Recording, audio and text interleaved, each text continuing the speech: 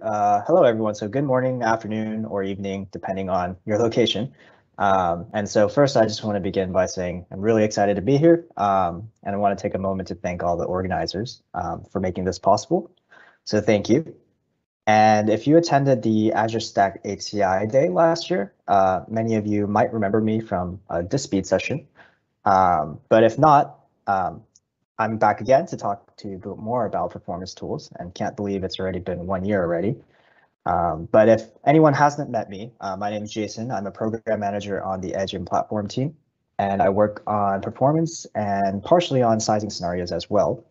So today, um, I know some of you really care about performance, and so what I like to do for today's session is introduce a pretty big update. Uh, more specifically, excited to announce uh, VM Fleet 2.0, which involves uh, the new changes to both DiskSpd and VM Fleet. So let's dive into it. So before getting any deeper, I want to quickly highlight a few of the topics for today. First, we'll be discussing the most important thing. Um, what are the new changes in VM Fleet? And then we'll go over some quick examples as well. And then second, we'll also discuss a new test mechanism in the form of a commandlet with the goal to provide more guidance. And then we'll go over a quick demo and proceed to discuss what's next on the future roadmap. So many performance tools often reach the end of their lifespan. Fortunately, Microsoft still loves Azure Stack HCI performance, which is why DiskSpd and VM Fleet is here to stay. And for those of you who might not be familiar with VM Fleet, it was originally a collection of scripts that helped deploy virtual machines and use DiskSpd to perform I.O. to stress the storage system and often used as a performance benchmarking test. So what does VM Fleet 2.0 bring? Well, first, it's the biggest VM Fleet update in over three years, um, has been quite a while. And second, previously there was admittedly a bit of a learning curve. So if you are a first time user or if you even take a break from using the tool, it's pretty easy to forget how to deploy, utilize, and measure results using VM Fleet. Not to mention, it's always been a bit tedious to deploy the tool in the first place. A lot of manually moving files around, and even after deploying, there's a bunch of scripts um, which one do you run first? All of these questions. Therefore, we decided to make this process a bit more easier and intuitive for all users. And the third thing is that VMfleet 2.0 introduces more powerful ways to simulate workloads. And this includes um, new DiskSpd flags and parameters as well. So the first thing, given that this is the biggest update in three years, you might be wondering how different is it from VMfleet 1.0? Is it a complete revamp? Well, luckily, it's still your familiar and reliable VMfleet tool, um, and most of the original functionalities are still there, meaning that you can run a VMfleet test with disk speed commands, open up watch cluster to see the IOPS, graph polynomial fits if needed, and your familiar folder structure is there as well. And all of this is still fully open source on GitHub. So the VMfleet 1.0 scripts and the VMfleet 2.0 module will be live on the GitHub repo. Uh, so if for some reason you still want to use VMfleet 1.0, it's still right there for you. Or if you want to take a look at the 2.0 scripts, you can also do so as well. So I'd say the main physical change to VM Fleet is that it's now a PowerShell module. So you no longer need to manually download the scripts and the deployment process is much, and I mean much faster. And I also want to assure you that DiskSpd is still backwards compatible from HCI v2 all the way to Windows Server 2008 R2. So on that note, in the past, there were quite a few steps to deploy. Um, first, you need to create a collect volume and then a cluster shared volume per node. And then you need to obtain a server core image, navigate to GitHub, download the repository, download the executable separately, a bunch of manual steps. In addition, you also need to move the executable into the right folder, move the VHDX into the, a selected folder, and turn off the CSV cache, create a fleet of VMs using a script, and set the appropriate VM characteristics like memory. And then at this point, you can finally begin running the scripts. But there are multiple entry points and seems to be like there's multiple ways to do this. So for example, you can start modifying the run.ps1 script directly and uh, run the clear pause script to get started, or you can start running the start sweep script uh, with parameters. And as you can see, there's multiple ways to run this and quite a few steps. So what changed? Well, the PowerShell module automates a few things. First, uh, you do you still do need to perform a few of the same prerequisite steps. So this is like creating a collect volume, creating a CSV per node, installing a server core VHDX image, etc. But now all you need to do is install and import the VM Fleet module. And then you can run install fleet to install the or create the familiar folder directory structure, and you're pretty much done. And this also does a few other things like pre-installing the DiskSpd executable, turning the CSV cache off, etc. And the last step is simply running new fleet in order to create your virtual machines. And this will by default create the number of VMs equal to the number of physical cores unless specified otherwise. And then you can start running your other commandlets to begin your testing experience like start sweep. And as you can see, it's uh, much simpler and it really is just running a series of commandlets. So next, I want to introduce some of the more new features and commands that lets you simulate workloads with more control. To improve VM Fleet, we also wanted to improve DiskSpd, and we're also fully aware that DiskSpd uh, is lacking in certain aspects compared to other tools out in the world. But with this most recent update, I think that DiskSpd in VM Fleet takes a leap forward by offering more functionality and granular control. So first, we can now simulate a hot cold working set. So previously 100% of the IO generated by DiskSpd was uniformly distributed across the target file, which results in a performance boost to more compared to more realistic workloads where data might be split between hot and cold working sets. So in order to offer this more flexibility and simulate these realistic workloads, DiskSpd now allows you to specify a non-uniform distribution for random IO in the target file. And this can be specified in two ways, either a percentage-based distribution or an absolute-based distribution, as denoted here by RDPCT and RDABS. So for example, if you wanted to, if you want a percentage-based specification, then you can specify that you want to send 50% of the IO to only 20% of the target file. Or if you want an absolute size-based specification, then you can specify that you want to send 50% of the I.O. to only 2 gigabytes of the 10 gigabyte target file. Also, if you specify an I.O. distribution percentage of 0, that indicates a hole, or meaning that no I.O. will be issued to that range of the target file. Second, you can mix random and sequential workloads in one test run. So previously, DiskSpd could only run 100% random or 100% sequential workloads. Now you can specify a percentage of I.O. requests that can be issued randomly with respect to the last issued I.O. And this is denoted by RS. Third, DiskSpd has a new parameter called RP, and that lets you provide your desired parameters and create an XML profile without running your DiskSpd load. This way you can save your profile and use it later or use this to automate certain workloads. Next, we heard a lot of feedback regarding the only that the only way to throttle IOPS was to use the G flag, which is unfortunately a throughput specification. And this means that you need to calculate and reason about the relationship between throughput, which is in bytes per millisecond, and IOPS in order to thr throttle the IOPS to a desired value. But those days are long gone as you can use a new flag called GI, and that lets you directly control the IOPS limit. And last but not least, if you decide to create an XML profile with two target files, you can use the star number as a generic placeholder for each target. Later, if you decide to run the XML profile but want to overwrite and replace the two target files to something else that you want, then you can do so. So there's a lot of new changes, and I'm sure there's many questions, but uh, once you have a chance to test it, uh, I promise it'll make a lot more sense. But in the meantime, uh, we can go through a couple examples. So first, uh, the first thing, the first example is using this set of parameters. And the first thing we need to look at is where we have a 30% write ratio, and we're using the random distribution based on absolute terms. And we also have a 40% random workload against a 10 gigabyte target file. So the first thing we would look at in this case would be the random distribution in terms of absolute value. And that means that 30% of the IO goes to 5 gigabytes of the target file, and 70% of the IO goes to the other 5 gigabyte of the target file. And then within those distributions, the IO is further categorized.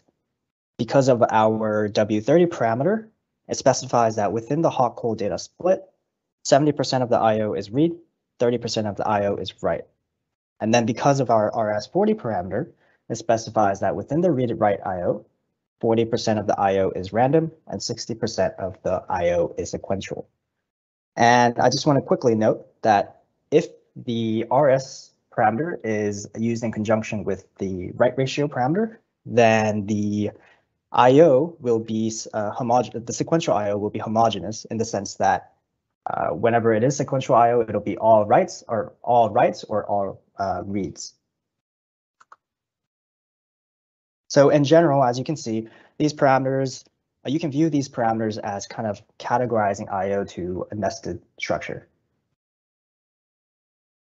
So we have a couple more examples for other new flags as well, and it's a bit more simpler, um, but so bear with me. Uh, the next example is for creating parameter profiles. So if you want to create a new parameter profile, you can do so by simply specifying your normal flags plus the RP XML flag and pipe it into a new XML file. The resulting profile should look something like these two images. And there's really nothing new here, um, as this also existed in the previous DiskSpd and VMFleet versions, and it really does serve as the backbone for DiskSpd. The only thing new is that you can easily save this profile via command line, as opposed to manually opening them, opening the XML files and copying the profile tag section. So the next example is for the direct IOPS limiter. And this one is as simple as it sounds. Let's say you want to limit IOPS to 1000 per thread, then previously you needed to use the G flag and specify 4100 bytes per millisecond for a 4K block size. But now you don't need to really figure out that you know 1000 IOPS is 4100 bytes per millisecond. You can just simply use the GI flag and simply write 1000 and that's it. So the next example is for replacing target files in the XML profile. So let's say that I want to send IO to two target files in the future. Then I can initially create the profile with two target templates by specifying star one and star two. Later, when I run the profile, all I need to do is specify the new target files such as io.dat and io2.dat.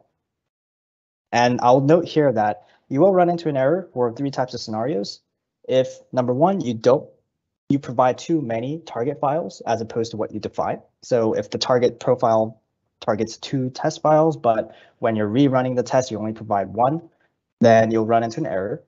And the same thing will occur if you provide none. And third, it'll you'll also run into an error if you provide too many target files. So if we define two here, but you decide to provide three target files, then you will run into an error. So we just covered a few DiskSpd updates.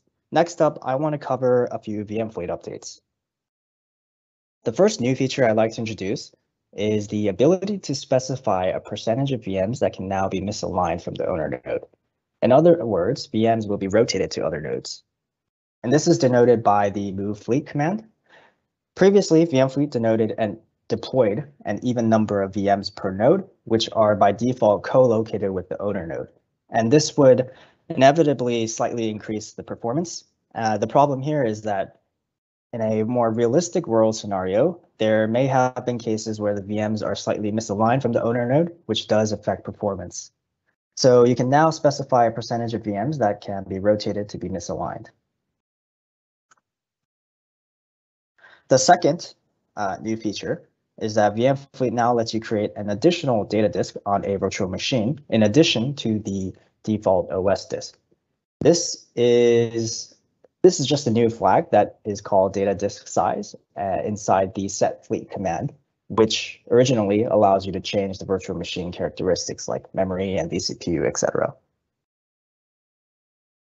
So third, we have a new set of commandlets that actually allows you to check the virtual machine's health status and one of the more notable ones is repair fleet, which automatically restarts the virtual machines that are not responding to any pause and go actions.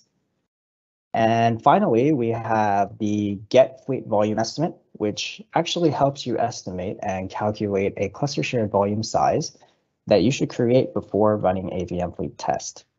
Um, and this command will estimate the CSV size for each resiliency type depending on your, your environment. So whether you have two nodes or three nodes, etc. In regards to estimating the CSV size, it should look something like this. And for context, this is on a four node cluster. So running this command will automatically generate these calculations and mirror will refer to three-way mirrored here because uh, your system is a four node count and map will refer to the mirror accelerated parity. Now, if this was a two node system, then it would show different values such as a two-way mirrored and a nested two-way mirrored and a nested map resiliency type. So it really is dynamic in the sense uh, that it depends, the output depends on what environment that you have.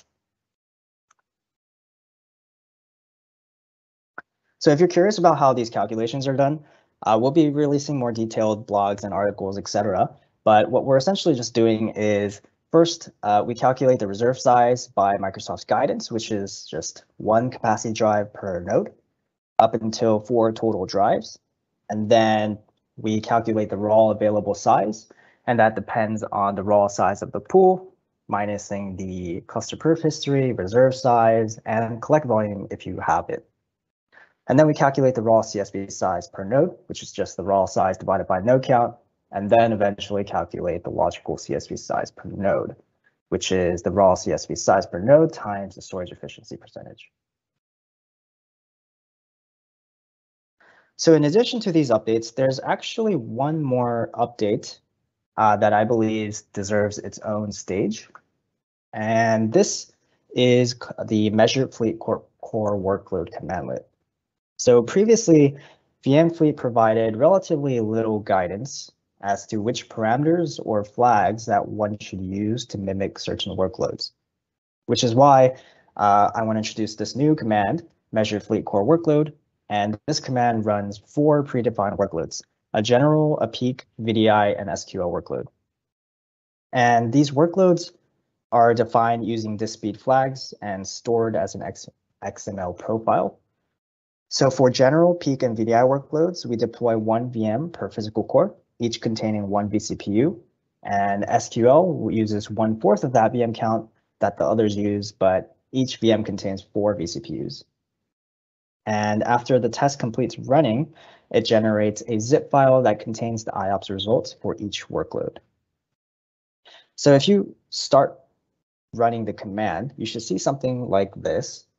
And then after the load completes, you should see a zip file that contains the following files.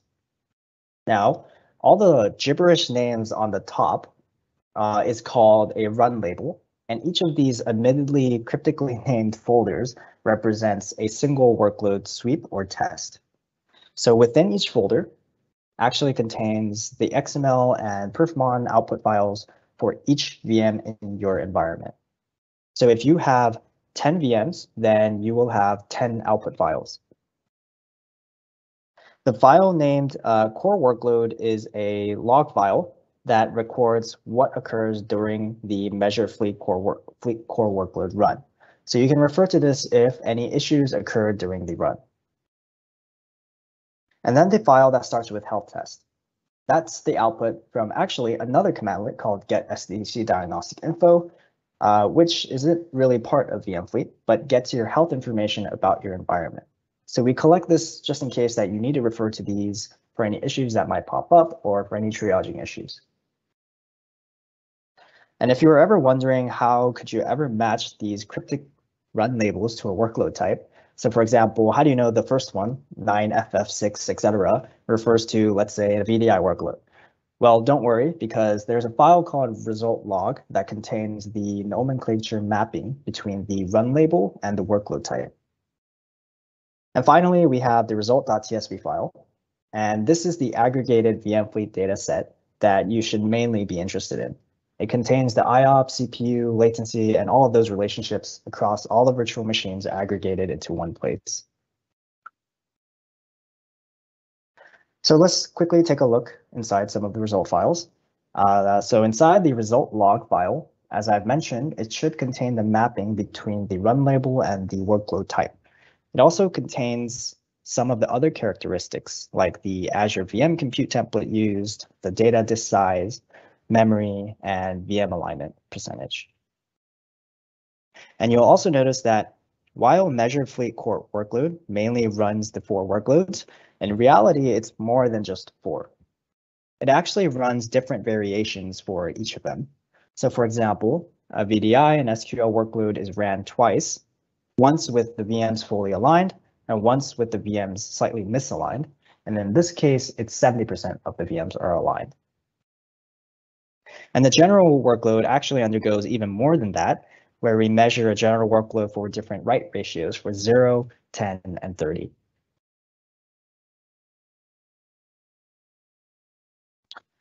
So inside the result.tsv file, you should see a ton of data. There are multiple columns. There are multiple columns that VMfleet captures, such as the run label, the workload type, memory per VM, IOPS, etc. But what you're likely interested in is probably probably going to be the IOPS, workload type, CPU, and latency usage. And if you take a closer look at the IOPS column, you will notice that the values are quite large and this is because it denotes the total IOPS values across all the virtual machines in the cluster for that workload test. So basically, IOPS column equals the quality of service per VM times the VM count. Regardless, there's a ton of data here for you to parse and play with, and there will be separate blog articles and documentations that go that really go into the detail of what each of these columns capture. So you can definitely look forward to that.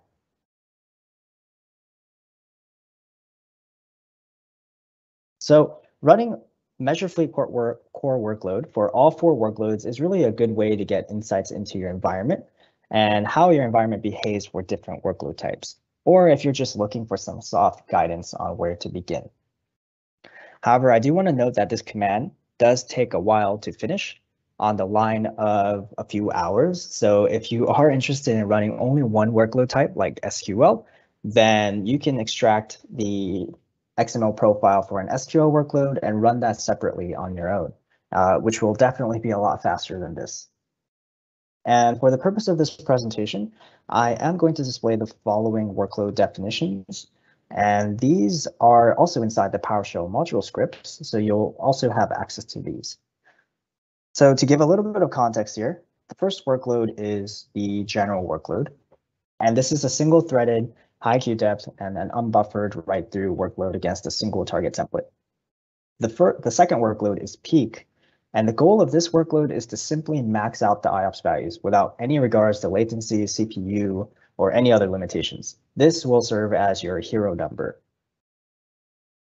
And the third workload is the VDI, um, and many folks are probably familiar here. Um, this workload seeks to simulate a traditional virtual desktop infrastructure uh, where you might be hosting desktop environments.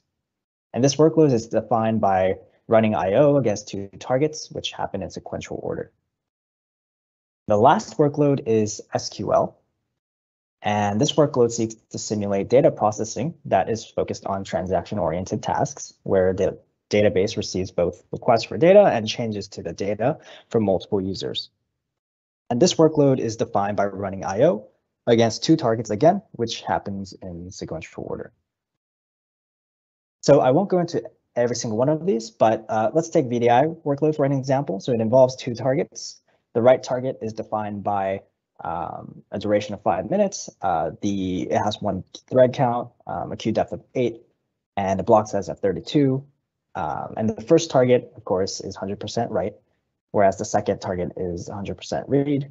And we actually limited this uh, to six IOPS per thread, as usually there's not much activity going on for a, uh, for a VDI workload. And then the workload consists of 20% uh, random and 80% sequential, at least for the write component. And you'll see that we're using the RDPCT uh, parameter here, where it means that 95% of the IO will be sent to 5% of the target file, 4% of the IO will be sent to 10% of the target file, and the 1% of IO will be sent to 85% of the target file. And that last portion is actually implied if you don't, I guess, if you don't explicitly specify.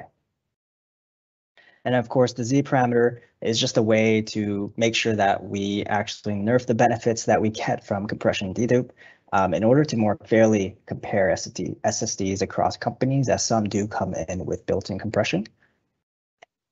And the last F is to determine that we only use the first 10 gigabytes of the target file. And for the read component, it's pretty much the same thing, uh, same parameters, except the values are slightly different. So for example, RS is 80, so 80% random, 20% sequential, etc. Now, I'm sure there's multiple opinions and perspectives on how these workloads can be defined. And we fully realize that it's incredibly difficult to actually categorize these workloads like this, um, as it really does depend on your use case and your environment. And the way that we came to define these parameters really just stems from what we observe in customer environments and how other performance tools categorize their workloads. Which is why we are looking for feedback. And so definitely go try it and feel free to let us know your feedback as it will shape the future of these workloads. And I think one way to think about this is that we fully realize that these workload definitions are still very flimsy, meaning that they definitely don't represent an actual SQL or VDI workload, but with this, we did take a step closer at mimicking a more realistic workload. And if this was depicted on a spectrum, you can imagine that VM Fleet 2.0 being smack in the middle with the measured fleet core workload. And the spectrum of measuring performance data seems to go from one, looking at a previous environment and guessing in your head that an SQL workload runs about X IOPS at Y latency, etc um, not very rigorous. And two, using a benchmarking tool like DiskSpd and inputting your own parameters, which in reality won't be a real workload. And third, it's uh, similar to the second point, which is just running a predefined workload like VMFleet 2.0, which is by no means perfect, but offers some guidance and a baseline for you to observe data. And four, using a workload specific tool like HammerDB for SQL workloads as they are likely optimized for that scenario. Lastly, you have running an actual real life workload. And currently it's near impossible to get to the far right side as nothing can really beat a real workload, real production level workload. And with this, I think, but with this, I think we did take a step closer. Um, so I do want to just acknowledge and not dismiss the fact that this is by no means perfect and it is definitely not the one all be all. So now let's actually get to the actual demos. But as a quick caveat, we won't be covering all the different individual updates in these demos as there are quite a ton of new minor feature updates as well. But there are a few major ones that uh, we should focus on. But um, you know, don't worry, as we'll be releasing a lot of articles and documentations that detail each of them. So for the DiskSpd demo, we'll be running this set of parameters, and most of these are the same flags that were available before. Um, the only new ones that we should focus on are highlighted in blue, which is really the RDABS, the RS, and the GI. So the first demo that we have prepared is for DiskSpd, and most of these should be familiar. Um, so, you know, um, again, focus on the last three parameters. Um, so as we begin, I will first show you an example of using the old G parameter to throttle IOPS and how cumbersome it was. Um, so we'll try to throttle it to 1000 IOPS. And you'll notice that I have something open on my left. And this is just a quick calculator script that uh, converts the throughput values in bytes per millisecond to IO per second. And then afterwards, I will show you an example with our new parameters. So as you can see, I'm running through a bunch of throughput values to find my 1000 IOPS. First, I try 4500, 4400, and eventually find that 4100 bytes per millisecond results in 1000 IOPS. So using this value, we'll run this DiskSpd. And you'll notice that uh, we have throttled IOPS to 1000, but that required a bit of effort, not to mention you can't even mix random sequential workloads or hot cold data. Now let's run this DiskSpd with our new parameters, including the GI throttle parameter. And this time, no need for a calculator, just input 1000. And you'll notice that we again successfully throttled IOPS to around 1000. And if you look at the input profile, you'll notice that we ran the test with mixed random and sequential workloads. The block size is also displayed in kilobytes, not plain bytes any, anymore for readability. And then you'll also see the IO distribution, which determines our hot cold data. And you can also see the effective IO distribution, but in this case, it's the same as the previous.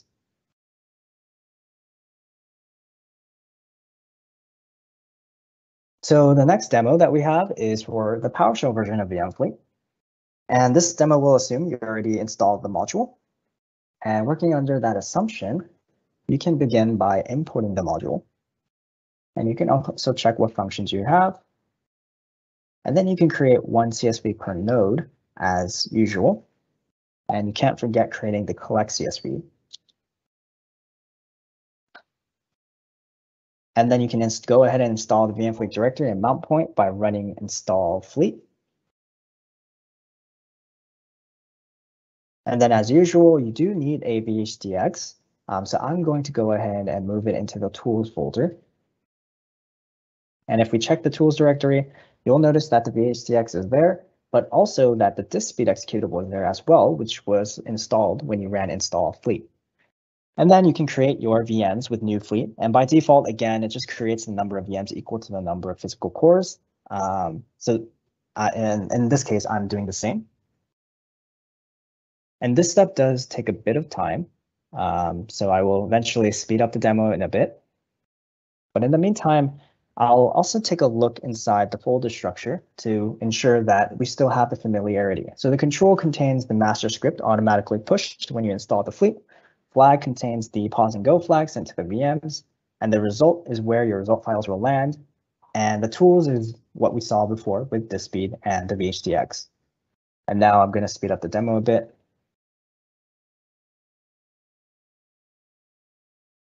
And then now this is the optional step. You can run set fleet to again change your memory or vCPU count, etc. as you wish. And of course, can't forget running watch cluster as that will allow us to see the IOPS.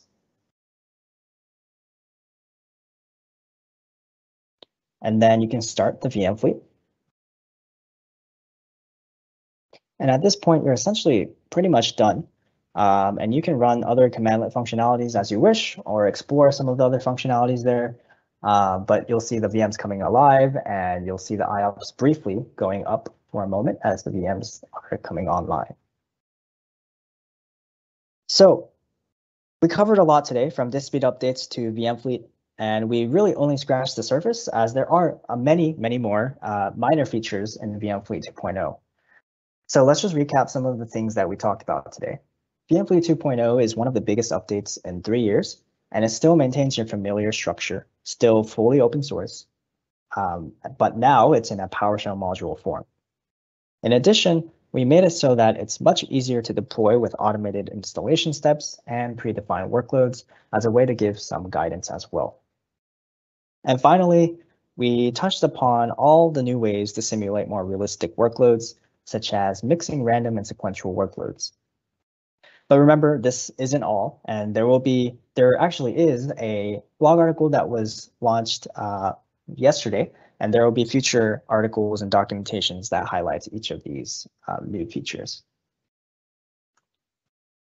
So with that in mind, what's next? VMFleet 2.0 is open for the public to use for your benchmarking needs, but you might also be wondering if we, Microsoft, is doing anything with the new VMFleet tool. Well, I'll give you a quick, quick or slight glimpse or tease into what we're trying to do with the new VMFleet tool. As you might know, many customers struggle to size an HCI solution for IOPS performance. Therefore, based on feedback, we're planning and currently actually using this tool to gather some data and eventually build a pre predictive model and incorporate that into our new sizer that is coming later this fall. However, IOPS sizing will be coming a little bit later than the first iteration. Um, so in the first iteration, it will mainly be for storage, memory, and compute. And in the end, we'll be using this newly improved VMfleet data to build a model and be able to eventually size for IOPS performance and help customers during their HCI purchasing journey. So that's a quick glimpse at what's coming in the future. And with that, it pretty much wraps up my session for today. Um, all that I ask is if you are interested in performance benchmarking, then Please go to this link and try VMfleet 2.0 and let us know if you have any feedback by emailing us at this email address. And I think that's pretty much it. Okay, thank you so much for the opportunity to speak here today. And uh, thank you again, Carsten and everyone else for organizing this event. And I will pass it back to you. Yeah, thanks, uh, Jason. That was a very, very good presentation, and I like I liked a lot what I have seen. I have one question. Um, uh, you know, I do VM fleet in every cluster installation we do, and even if I when I train people, we we do the old one. I will do the new one, of course. Um, but with the old one, uh, if you have a stretch cluster in Azure, Azure Stack HCI, it also deploys VMs on the log CSVs. So I wonder if you know that and if it's maybe prevented in the VM Fleet 2.0. Yeah, so there's even in the old version, to my knowledge, there is no limitations on stretch clusters. Um, so I, I, actually personally am not aware of this fact. However, the VM Fleet 2.0 actually uses the same uh, underlying infrastructure as it. It simply adds more uh, commands and functionalities. So I'm assuming that it would actually have the same effect, and which is actually great to hear this feedback since we should definitely look into um, making sure that it's guaranteed for stretch clusters.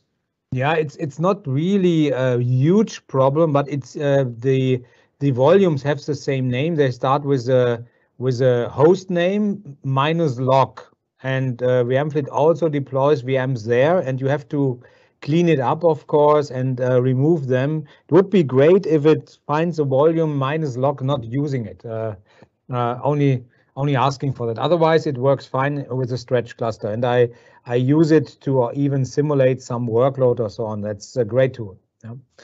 Okay, we haven't had any questions from the audience, so you were, uh, or Oh, yeah, there is one. There's one. Ben is asking, are there any plans to add CSV creation as an optional switch to install v Fleet? Yeah, that's actually a good question because it is something that we actually were considering during this VMfleet 2.0. Um, so I'm assuming the question's specifying uh, kind of pre-creating a CSV volume before running VMfleet. Um, and if that is correct, uh, we actually have a new commandlet that lets you uh, I believe it's called get fleet estimate uh, volume estimate, and it lets you estimate the uh, CSV volume size. And so you can use that direct, you can use that specific volume size that appears on the output and use that to create your uh, cluster shared volume before running VM fleet. In regards to actually making that pipeline even more seamless and actually um, pre-defining it and actually creating the CSV even before running VM fleet, we that is actually within our backlog of things to do right now. Um, but in the meantime, you can definitely use the get fleet volume estimate, and it'll tell you the CSV size that you should create. And all you need to do is run the new volume commandlet with that size. Very cool. So um, uh, uh so here is uh, here is um, how you call it lope. Uh, yeah, we have a very great feedback for you. Say. Yeah, Jason, this was the best presentation so far. Excellent work on the new VM fleet. Thank you. Yeah, um, and definitely encourage everyone to try it out and provide feedback at the uh, email address right here, and we'll definitely take the feedback into account. Yeah, there's another one from Ben. Now, now the question starts. If it would be great if VMfleet dynamically creates the volumes as, as part of the test rather than a manual step. Okay, another input about the volumes. another right. I, I can also add to this, right? Uh, I I wrote a script for the MS Labs that will prepare everything for you. It's like a helper script. It's in the tools. If you go to MS Lab site, there's a folder tools and there's like a prepare VM fleet or something like that. It will basically, if you run it, it will ask you for the S2D cluster will point you to the cluster and it will create volumes. And it will also ask you for the file with your server core. If you don't have any, you will just put it ISO file and it will create your uh, your uh, VHD that has uh, the things, you know, like answer file included. So you can specify the password for the machine and it will also create the folders. So you don't have to manually go and prep your machine, right? And Carsten, by the way, you don't have to uh, have the vdisk names like that if you don't create it with a with uh, with the Windows Admin Center. If you do it with the PowerShell, you can specify whatever log disk name you want. yes, I know that, but uh, okay. Um, I think, yeah, I, I, think I'll also add that I, I think eventually um, the roadmap for VM Fleet is to the I, I, believe I showed a prerequisite step in the beginning for VM Fleet 2.0. I think the final goal is to really automate all of that process into just one command line, for example, where it creates the collect volume for you, creates the CSV per node, and it maybe even helps you install and get the server core image as well. Um, so that that's definitely good feedback, and it's definitely something we want to aim towards.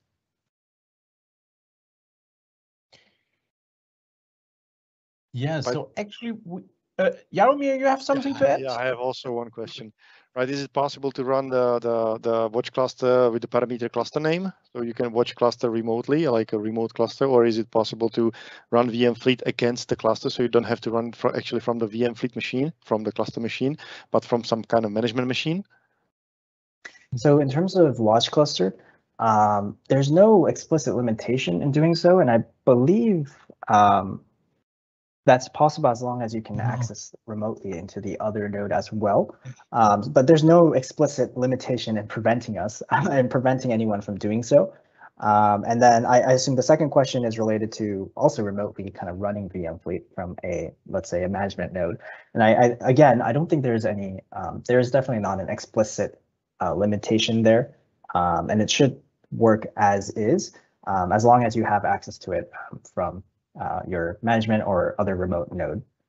Jaromir, there is a minus cluster parameter in VM Fleet, so you can right. run in the new, in the new one, right? Because the old one. The no, no, in the old one, it was already in the old one. Oh, really? They okay. updated it, so you can uh, use watch cluster on another node. Oh, you have to specify minus cluster, and he, it will get. Because the... I did create pull request like three years ago. yeah, it's it's it's there. Your your request was successful, even in the old one. That's awesome. That's awesome. That's awesome. Thank okay. you. so Manfred has a question. Yeah. So at uh, several points in these two days, we had the discussion that it's helpful for uh, many customers that are new to to Azure Stack HCI and Storage Spaces Direct and these things to find functionalities and tools in Windows Admin Center. Because if something is not there and the partner or the customer is not familiar with PowerShell, he maybe will never use these features. We had this discussion with software-defined networking where we have seen that there are great new things and so on. Are there any um, yeah, plans to bring uh, VM Fleet to Windows Admin Center with a uh, thing like um, uh, test my cluster with uh, VM Fleet or something like this to have this uh, absolute easiness of uh, the graphical interface? Yeah, thank you for that question. That is a good question because that is definitely something on the roadmap as well. Um, so I'd, I'd answer this in two parts. Number one, I think um, I briefly alluded to it, but we're also trying to help customers during their initial um, HCI purchasing journey with a new sizing tool that will eventually um, be able to size IOPS performance as well. So if they're looking at a certain um, Azure Stack HCI solution, it will be able to inform them, hey, like based on your workload inputs, like will this solution will be able to satisfy your needs or it won't. Um, but at least in the very first iteration, it will be sizing for storage, memory, and compute. And then the second part about uh, adding the VM fleet into the Windows Admin Center is something that we're also considering later down the road, as uh, we fully realize that VM fleet, um, given that it's at least initially it was a bunch of scripts and using PowerShell, um, there's a bit of a learning curve as you mentioned, the customer is not familiar with uh, PowerShell or any of these tools. And admittedly, we were lacking a couple of documentations as well of kind of how to get quickly get started. Um, and so with VMfleet 2.0, we also included more documentation and guidelines to quickly get started uh, with the PowerShell module. And then eventually in the future, we do want to um, convert this into a graphical user interface and Windows Admin Center is looking to be uh, one of the viable candidates to include into. Uh, great to great. hear. So I have I have another question or, or maybe a clar clarification. So VM Fleet, the new VM Fleet is not only for Azure Stack HCI, it will also run on Storage Spaces Direct, right? Correct. And I, I think at least for DiskSpd, it is backwards compatible until Windows Server 2008 R2. Um, and for VM Fleet, it should work on Windows Server 2019 as well. Yeah, but it has to has an HCI uh, an HCI setup, not a converged setup. No. Because the VMs have to run on the hosts that are on the storage. No. Right. Okay, we have a question from the audience, uh, or more an um, a wish. It would be nice if there was an SDN version of VMfleet that could stress test network config with VM to VM communication. Yeah, that's good feedback. Um, I, I, think there's a couple other things that VMfleet is really lacking in addition to network, right? Um, first of all, we're using virtual machines. We aren't using containers. And so containers could be another option there as well. And mm -hmm. um, there's a bunch of other things that um, VMfleet can be expanded to do in the future. And so this is good feedback. Thank you. Great. So uh, if there are more questions from uh, Helmut or Didier or Yaro may maybe have another one. Otherwise, we are done with the session and we have still 14 minutes to the next one.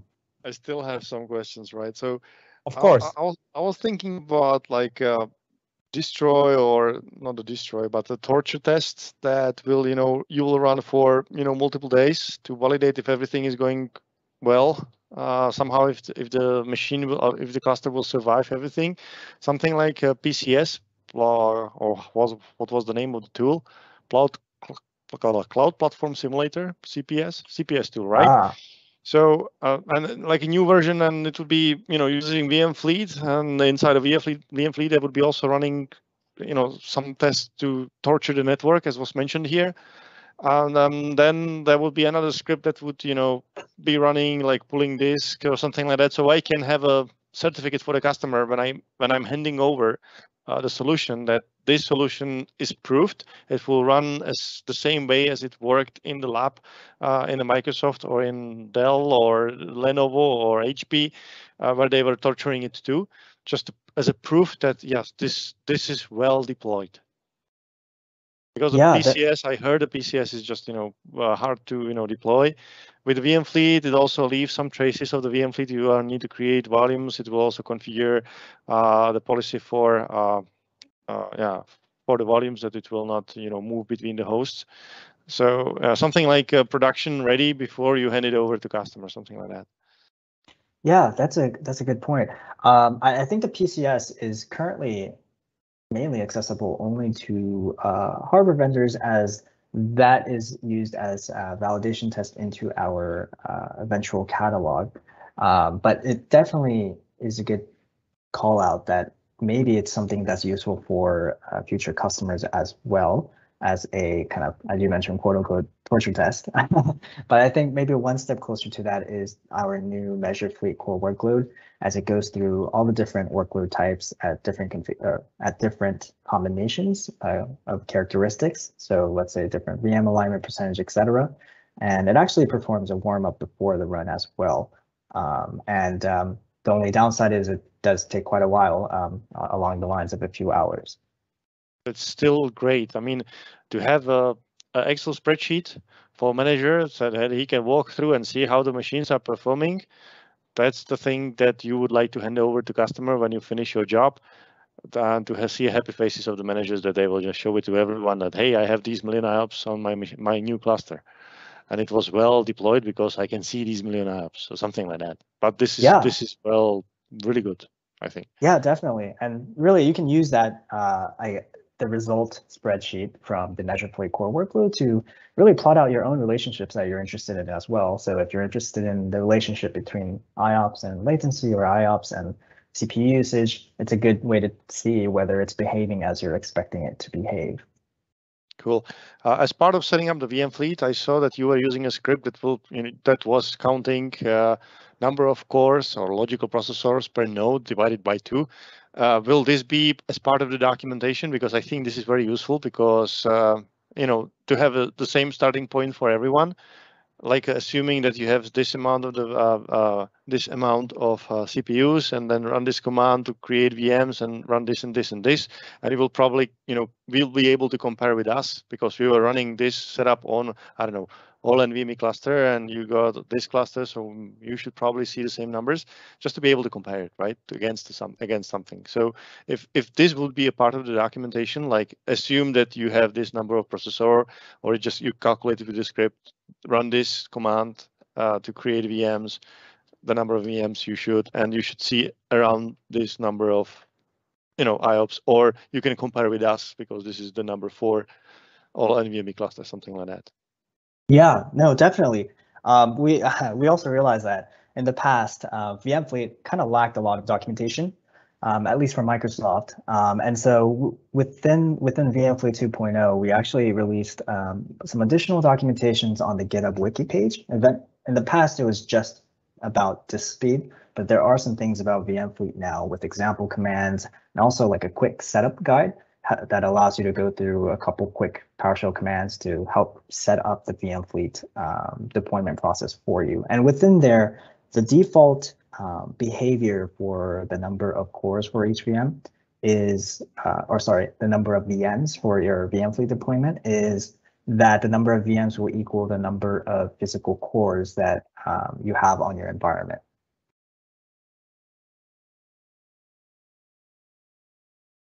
Okay, any more questions?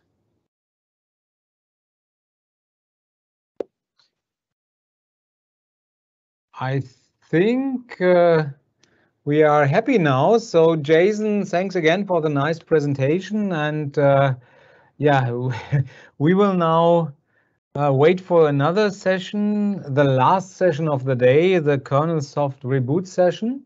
Um, so up to that, uh, we need a filler for nine minutes. Uh, Manfred, any ideas? I think we have one last question in the chat from Ben, uh, if it's okay for Of Jason, course, yeah? if it's if there one. Yeah, more- of He's course. asking any thoughts on using VM Fleet with cluster-aware updating to test performance and impact of patching a cluster as an out-of-the-box scenario. You can you can run VM fleet and patch the cluster. That works. Yeah. Done it. I even I- turn I- off some nodes and use VM fleet. I doing think the, the idea is more in the direction what uh, Jaromir was asking to to have an automated process. Yes, you're right. You can do this and then see what what what the impact is. Yeah. Yeah, thank you uh, for that question. I, I don't think there was anything specific on the roadmap in regards to uh, cluster-aware updating and incorporating VMfleet into that. Um, however, uh, that is a good feedback, and I think it really comes into play of eventually VMfleet getting to the point of categorizing different scenarios, um, especially once it is once we decide to incorporate it into a, a graphical user interface. So um, maybe the future can be once you have a graphical user interface, you can then select uh, from different scenarios, right? Number one being just running through various workloads, um, as we defined here for like SQL, VDI, general, peak, etc. And then um, maybe, as you mentioned, for cluster-aware updating um, as well, and then also a torture method as well for the VM fleet. Um, so I think that's good feedback to eventually incorporate into our uh, roadmap. But you know, we're definitely not against doing that, but um, it'll it, it was also not directly on our roadmap, but something to consider. Thank you.